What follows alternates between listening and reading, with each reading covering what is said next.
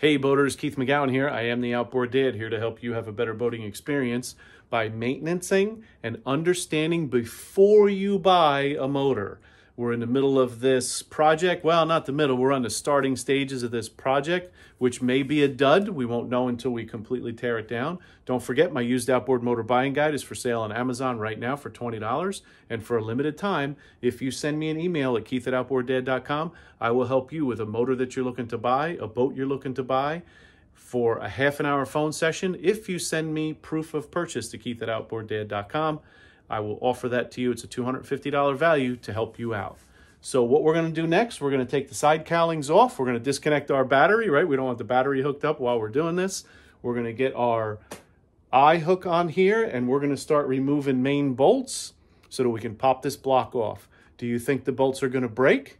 Do you think we're going to snap them off? Do you think we're going to have to drill them out? Are we going to have to torch it like we did the 150 horse Mercury? Or is this going to come off without too much trouble. What do you think? Send me a comment and we're going to get at this and we're going to find out for sure. Cowling has bolts through here, so I got this one loose already. And we have one here. We already disconnected the wires for our trim switch, so we don't have to worry about that. But there are some tubes here connected that go to our motor and come, come out of our motor, and there's a broken one that goes to our pisser tube here, so we're gonna make sure we disconnect those as well. Let's disconnect those hoses and then we'll pop these covers off. All right. Oh, missed one. You do have to take them all out. Funny like that. Now, sometimes you yank on it and break it and realize that. And now you're epoxying and stuff like that. It's not the end of the world, but, you know, things happen.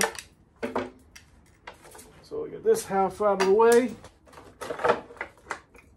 So now comes a moment of truth. We're to get the ratchet out here and we're to start with these big fat bolts, the longest ones that are in there.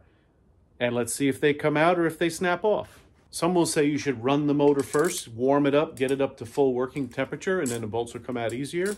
Fortunately, the motor didn't run on just two cylinders. And it's winter time, and I would hook up a hose. I wouldn't have a hose. I would burn up the water pump. I'm just going for it, man, and see what happens.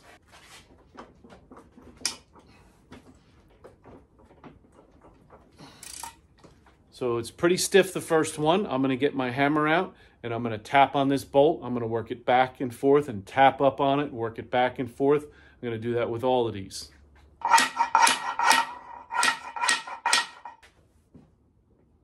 Not happy with how it's going. Don't want to overdo it and end up breaking a bolt off sooner than I have to.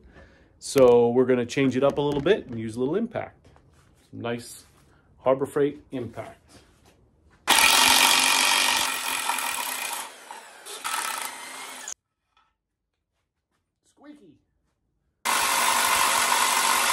Okay, one long bolt left.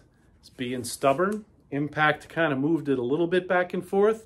Don't want to work, again, I don't want to take a chance of breaking it. Time to get the torch out. I'm going to heat it up here inside the sleeve, right, because that's a long bolt in a sleeve and also the bottom of the block. I removed the rubber pieces here, so I'm not melting anything. The rubber piece that was here, I don't think I'm going to get into this coil or anything because I'm going to be right in here with my heat, try and keep it concentrated, and we'll heat this up and we'll try it again and let's see if it'll come out. Make sure you wear your eye protection. Don't be a tough guy.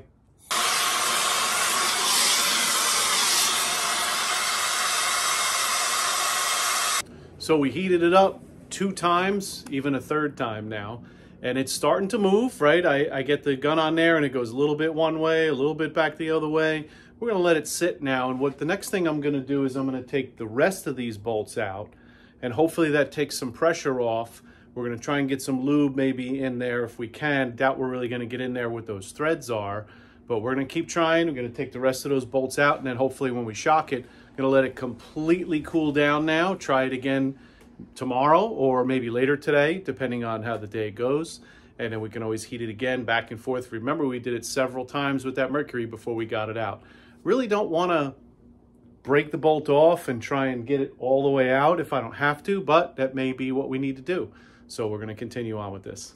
All right, this last bolt, boy, has it been stubborn. I got it to move a little bit back and forth with the uh, Harbor Freight electric impact gun. Now I'm gonna have to get my air compressor running, so we're gonna make a little noise in here. Let me show you where you're at, where we're at, how it's turned out a little bit, and you'll see the washer. I just wanna show you this.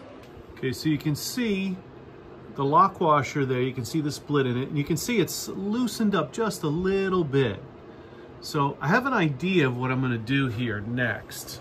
I'm gonna take that washer, I'm gonna try and remove that washer. I'm gonna try and knock it out of place so I have a little bit of room. Then I'm gonna get my engine hoist up here on the top and pull because right now I have play in this motor. When I say play in this motor, I'm gonna put my pry bar in here and I can move this, right? You can see it coming up and down, right? So I have some play in this engine right now. If I step back from it, you can see the whole block moving, right? So what we're gonna do is, I'm gonna get that washer, I'm gonna bust it out of there, and I'm gonna knock this up with my hammer with my engine hoist pulling up on my engine. Let's see if we can get it. If I can get it up enough, maybe I'll get that to turn a little more. As you see here, the discoloration, I did heat it up with my torch once or twice, actually two times I've done that, maybe even three, and I'll probably heat it again. And let's see if we can get this moving. Got my engine hoist hooked up. Now I'm gonna try and break that washer out of there, that lock washer.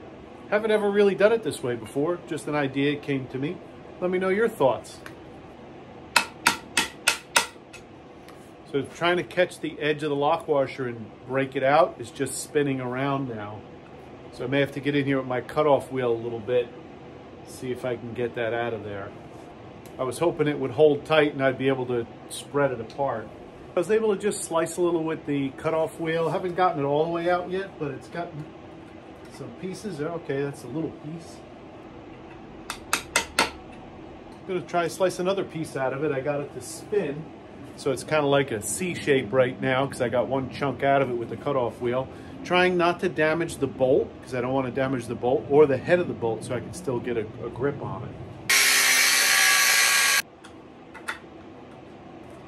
So I was able to get that out of there. So now you can see, so now you can see I have that much room. So I'm gonna put some, some lift on my hoist and I'm gonna smack this. We'll get this rubber out of the way so I don't hit it. And then we'll hit that bolt, see if we can get this to move. Actually, I'm wondering first if I should try and tighten it with my, gonna use my air gun this time. I don't really have a lot of CFM out of my compressor. It's a small one horsepower old Sears Craftsman compressor. And I have a pretty big air gun, half inch air gun. I'm gonna try that first, see if we can maybe get this to tighten up a little more. Maybe since the washer's not there, we'll get it in a little deeper and then maybe it'll come out the rest of the way. So I got a lot of weight on it now. It's lifting my cart a little bit off the ground and let's see if we can Be nice if I could get a little gap in there, but it doesn't seem to be moving. I do have a little bit of dust comes out each time, so I think if I keep working this and maybe use a little more heat, we'll keep at it.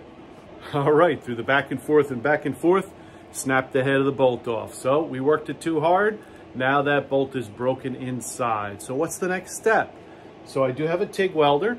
So my next opinion for myself is to get my cutoff wheel in here in this midsection and slice deep in and cut that bolt off to get my engine block off. And I can go ahead and TIG weld that back up when I'm done. JB Weld, some people would say. Not a bad thing to do. JB Weld works really well. And what we're planning to do when I'm slicing through here is only cut the bolt to not cut into the midsection too far. I don't know. I don't know. You're not going to know until you cut it and see what happens. I may remove this post here just to make it a little easier to get in there with my cutoff wheel. But that's the next step, unless some of you think there's a better way to do this. If you do, please comment and tell me what you think is the best way to get this off of here. But I'm gonna go ahead and move forward to get this engine block off. Please like, subscribe, send me any comments that you have, and we look forward to seeing you soon on the Outboard Dad channel. Take care.